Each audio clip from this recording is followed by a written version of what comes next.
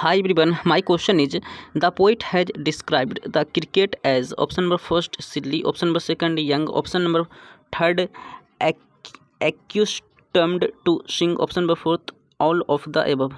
Option number fourth is correct answer, all of the above. So thank you, like, share and subscribe. So thank you.